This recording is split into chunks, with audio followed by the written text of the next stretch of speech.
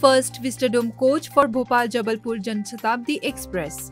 Usha Thakur and Vishvas Sarang inaugurated the train. The coach has large windows, rotatable seats, and self sliding doors. The tourism board praised the state's beautiful destinations and assured a nice trip. The coach has transparent roofs and large windows so passengers may enjoy the view. Principal Secretary of Tourism and Culture, Sheo Shekhar Shukla stated that this will let tourists to see hills, nature and rivers. India's first Vistadome coach was inaugurated in 2017 between Visakhapatnam to Araku.